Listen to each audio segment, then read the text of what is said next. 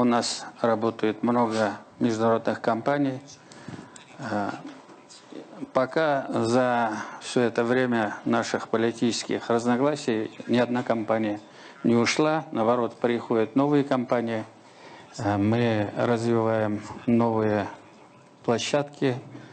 И, конечно же, э, на уровне бизнеса мы не ощущаем каких-либо сложностей. Но вот на уровне политиков эти вопросы ощущаются. Тем не менее, мы сохранили все наши отношения и с американскими, и европейскими компаниями. Сейчас активно работаем с арабским миром, э, с Юго-Восточной Азией, особенно Китаем. Поэтому, ну, э, время лечит, наверное, время пройдет, все это утрясется, надо сохранить наши отношения и продолжать работать.